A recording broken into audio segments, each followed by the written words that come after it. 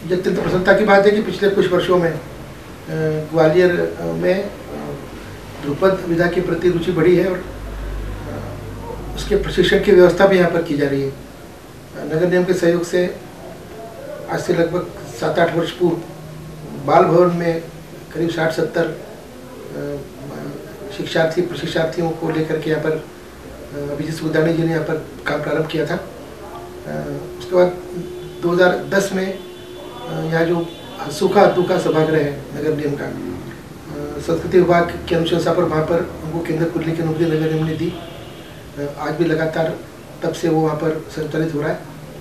और सबसे बड़ी उपलब्धि है कि ग्वालियर के दो दो गायकों को राष्ट्रीय सम्मान प्राप्त हुआ है। अखिलेश बघेल एक छात्रा है और एक अनुष प्रताप सिंह छात्र है। इसे गत वर्ष और ये छात्रा को इस वर्ष सम्मान प्राप्त हुआ है।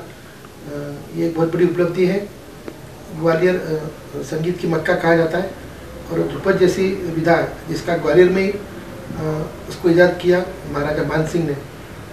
उस ध्रुपद का ग्वालियर में तेज़ी से उसकी रुचि बढ़ना और वहाँ पर प्रशिक्षण की व्यवस्था की जाना ये मेरी राय में अत्यंत प्रशंसनीय है। अभिजीत सुधाने जी इस काम को लगातार कुछ वर्षों से कर रहे हैं। मैं उम्मीद करता हूँ कि आने वाले समय में और सफल हों और इस विद्या के अनेकों युवा गायक इस क्षेत्र में आगे आए। इसी शुभकामना में इस अवसर